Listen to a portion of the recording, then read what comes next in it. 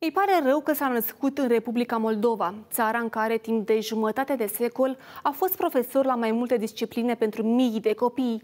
Este sentimentul de supărare pe care îl trăiește de ani buni Teodor Timofei, un intelectual în etate, pe care bătrânețea l-a prins singur într-o cameră de cămin a unei universități din Chișinău. Unica odaie de care dispune îi este și dormitor, și bucătărie și baie și ar dori un trai mai bun, dar din cauza vârstei și a sănătății precare nu mai poate face nimic. A devenit și mai neputincios după moartea celor doi copii, drame peste care a trecut doar refugiindu-se în lectură. Le dedică poezii pline de durere, a scris și o carte. Ar vrea să mai scoată una, dar pensia este atât de mică încât ar trebui an la rând să o adune pentru a strânge banii necesari.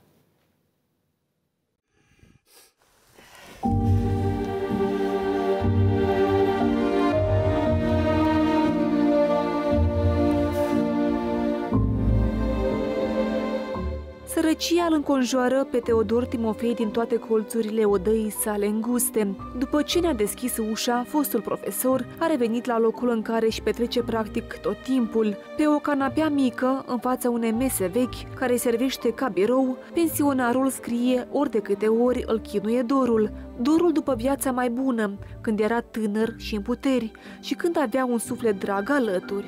Eu am predat în viața mea 5-6 obiecte limba și literatura.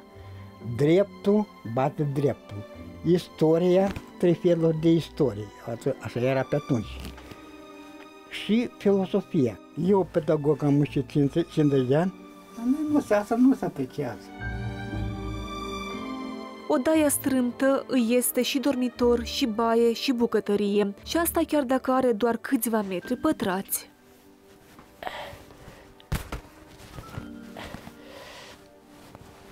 Am bani și am, dar, dar, dar de mâncare n-am nimic, că n-am și pune. Ne arată două canale.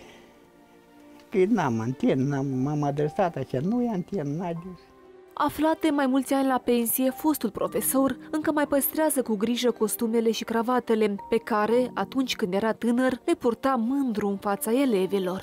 E ca asta. Îmi place, la fiecare cravată eu am costum. Aș vrea măcar un dulap mititele ca să nu stea, dar le pun în dulap, că n-am unde pune. Un dulap mititele, eu știu, de un, un metru jumătate, mai că la, la mult loc eu nici nu am. Putea fi și mai rău decât atât.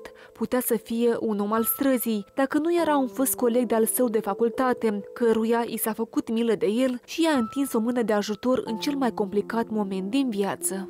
Coleg de-a meu, de când m-am terminat împreună, și el, când a auzit situația mea, când a auzit de starea mea, situația mea, că fata am pierdut, băietul am pierdut, el de undeva o auzit, cineva i-a transmis. Care e situația? Am zis, păi, la mine situația e, e foarte grea, da?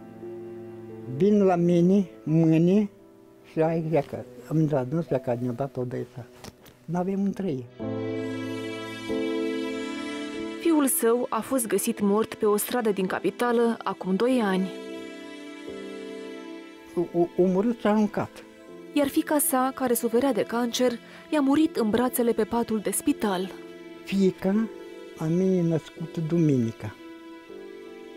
S-a dus tot duminică pe care la, la oncologic. Încurajat de medici, Teodor Timofei a încercat să prelungească zilele. Pentru asta spune că a vândut chiar și apartamentul, dar toate eforturile s-au dovedit zădarnice. Ne-a dus 150 de mii și noi facem operație și pata vie. Am gândit, eu m-am însfătit, am vândut că avem apartament bun, aranjat bun. Nu apartamentul îi dau. Cu operație, peste două săptămâni, nu-i. Cum să mă văd eu în așa caz la așa medici? E clar că... Și ați rămas pe drum?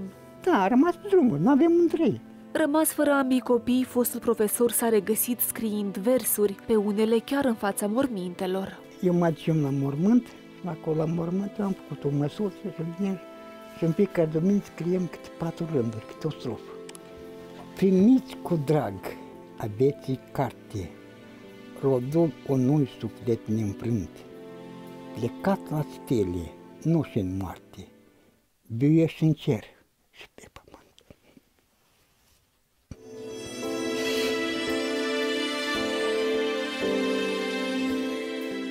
Știi, Natalia, tata am visat. fiecare, la mine, fica, dacă e să-ți mai Tăticule, dar tu mi-ai spus că ați vii cu noi, de ce nu vii la noi? Bis, mă scoți tu, așa de tare și eram atins scoală și puteam plânge, că tam și păi cuiva spune, linișteți. Ce nu vii? Că ai spus că azi vii la noi. Ei, Doamne.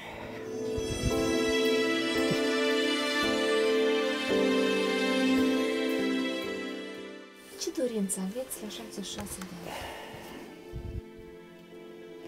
Vreau să fiu copii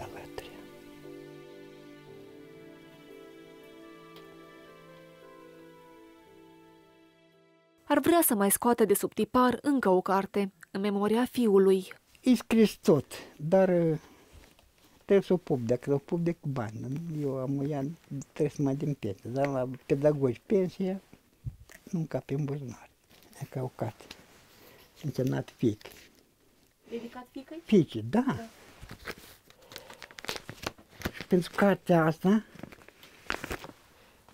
50 de exemplare, am plătit 7000 de lei. În această țară bătrânii nu contează. Nu există milă și respect, spune fostul profesor. Eu nu văd nici unul în, la noi, a măia, în ziua de astăzi, unul cu minte normală, clară, ca să facă ceva bun. Fiecare se numai la nu să castra. Și iată așa, la cei 76 de ani, trecut prin boli și suferință, fostul profesor a ajuns la, probabil, cea mai cruntă concluzie din viața unui om. Eu nu vreau să spun, dar păcat că m-am născut în așa țară.